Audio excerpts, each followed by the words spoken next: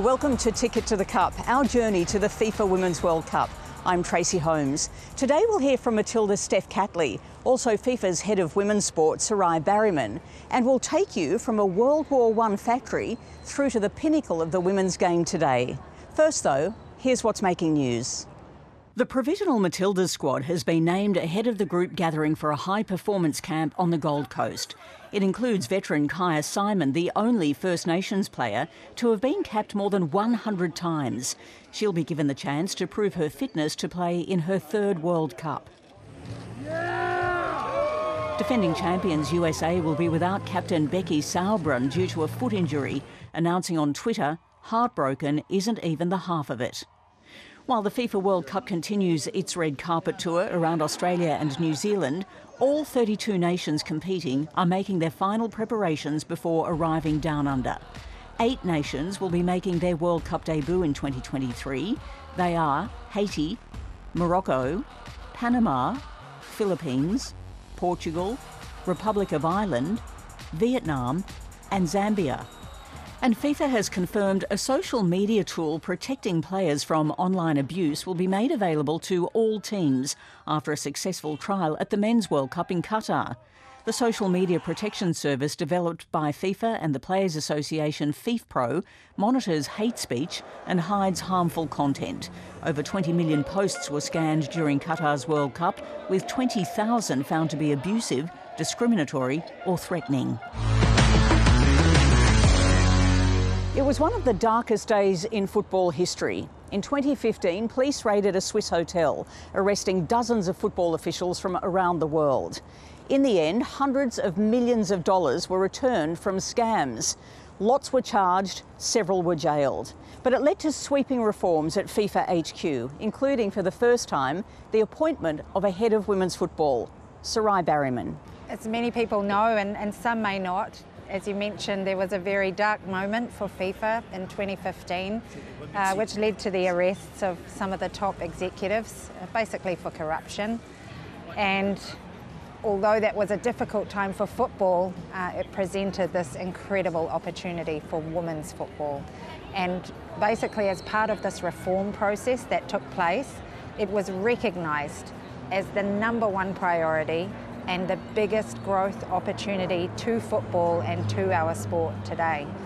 And that was a very, very clear message from the Reform Committee to the organisation that the position of women in decision making roles within football, from the top all the way down to the bottom, needed to be more.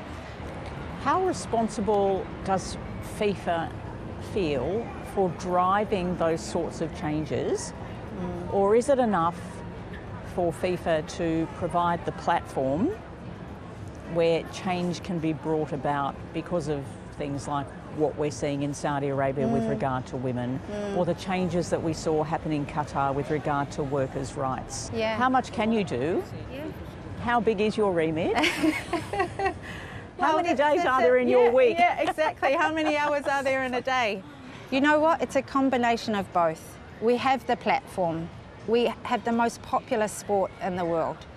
Literally millions and millions of women, girls, men and boys are playing our sport. So we have an obligation to use that platform as a way to better society. So there's that.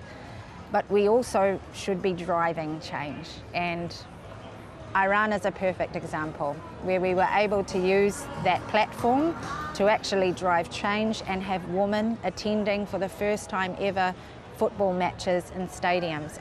I often think people believe our remit is much more than what we can do. After all, we are only a sport, but we do not underestimate the power we have being the most popular sport in the world. And like I said, that's something that's really powerful and unique, and we don't take that lightly.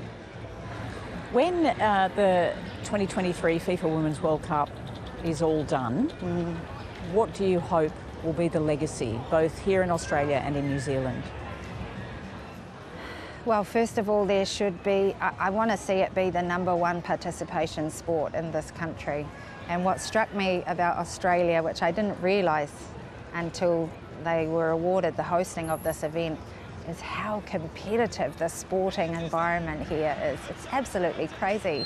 I'd love to see it be the number one participation sport for females here uh, in this country. And not only in terms of participation on the field, and fans, fans as well. You know, um, we were fortunate enough to be here when the A League, the Women's uh, A League uh, final, you know, it was incredible to see a record crowd there, amazing, but I'd love to see that stadium full. And I think that will happen after this Women's World Cup. And the same in New Zealand. You know, we're always competing with rugby there.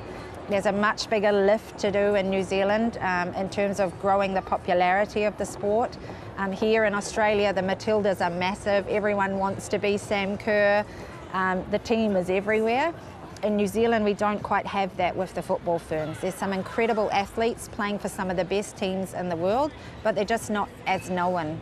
Beyond New Zealand and Australia, the Pacific region for me is obviously very dear, uh, having spent so many years in Samoa um, and the wider Asia region as well. Um, we've just got to break down those barriers and make sure that every opportunity that a young boy has through football is also there for every young girl.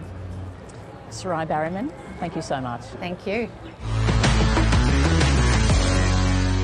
Matilda number 177 is Steph Catley, a feature of the women's national team for more than a decade.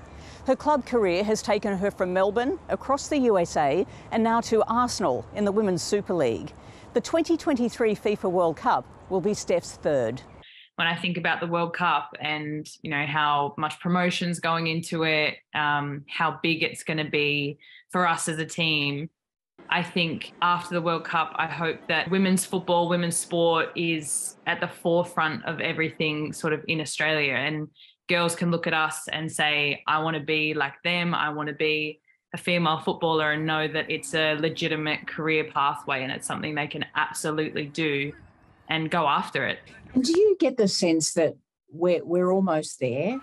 There's so much more talk now about whether it's our cricket team or our basketball team or our netball team. Uh, and we've got the leagues happening as well in AFLW and NRLW. And, and do you get the sense that the celebration of what the Matildas are is something that is it's it's up there. You can mention to anyone in Australia Matildas, they know who you are. I think us as the Matildas, I think Australia has really taken to us and has really um, fallen in love with us as a team. But in terms of women's sport in general in Australia, I still think it has a long, long way to go. The equality there is just really not even close um, it's a lot further along over here in the UK in terms of football and women's football, um, and I hope that can happen. Hopefully, after the World Cup in Australia, things like the W League can sort of start to come up closer to you know equal with the men's. Can you explain what the difference is so people here might not um, fully grasp what it's like where you are and what some of the other European leagues are like and the American League? The England team won the Euros at home this year. And I mean, already I would say that the WSL was quite far ahead in terms of professionalism, um, standards, medical standards, um, you know, equipment, uh, the facilities, everything like that is is fantastic over here. But I think the girls winning the Euros on home soil for the league did so much and put us in a position that just um, I think it attracted a brand new set of people to the women's game.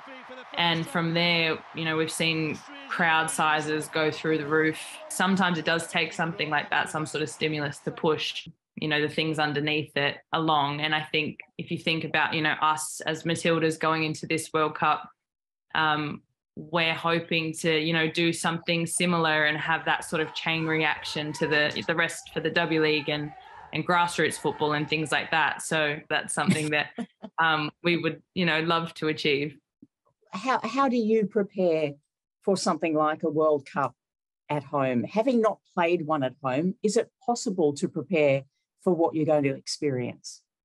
I honestly don't think it is possible. Um, I've played in two World Cups now, and those were even pretty impossible to prepare for. The first one was my first World Cup. The second one, you're more experienced, but then you get there and you're like, no, you, you can't really prepare for it. Um, but a home World Cup's like a completely different kettle of fish. You know, it's a dream come true for any athlete. For a footballer, it's just it's everything. Um, it's something you think you'll never get in your lifetime. Um, you don't even think about it as a dream because it's just you wouldn't expect it to happen. So, um, in terms of preparation, I'm just going day by day, trying to stay healthy, getting as fit as possible, focusing on you know the opponents we know we're going to be we're going to be playing, and then you know as it comes closer.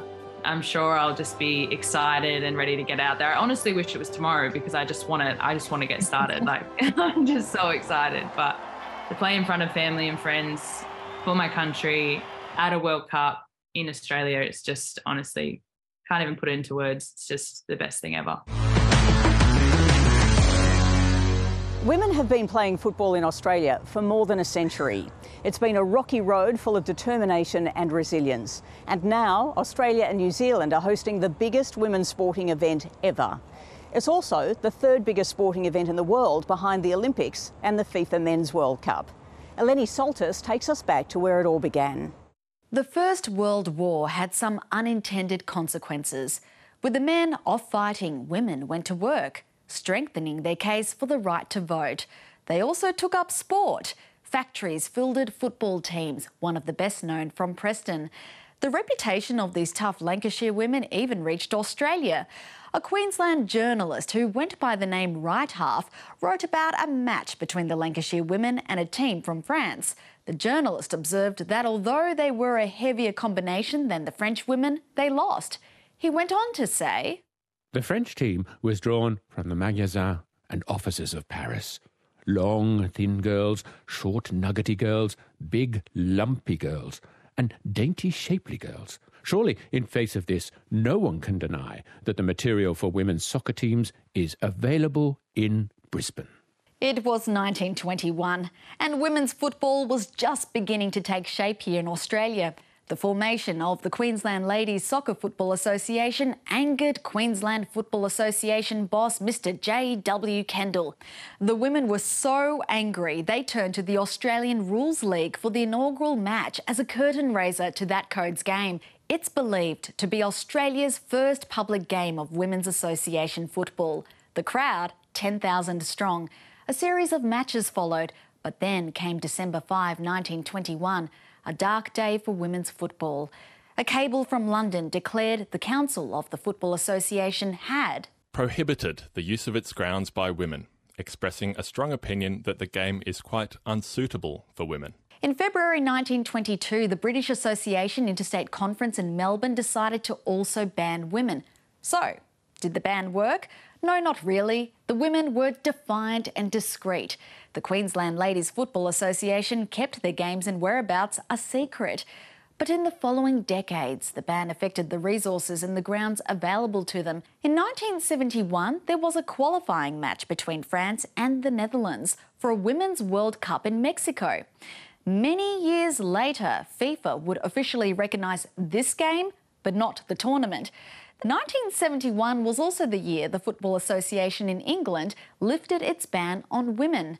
Seven years later, a girl called Teresa Bennett legally challenged the FA for a right to play in an under 12s boys team. I was crying. I've always loved football, and I always will. Teresa Bennett won her case, attracting headlines around the world. But six weeks later, the FA successfully appealed. Teresa and her parents weren't even told about the court date till 5:30 that very morning. Such as women's football, one step forward, two steps back. But if there's one thing to learn about the women's game, it's this. Defiance and persistence pays off. Thanks for your company on Ticket to the Cup. You can catch our interviews in full and more on iView and online. And also, don't forget to check out our weekly podcast. See you next week on Ticket to the Cup.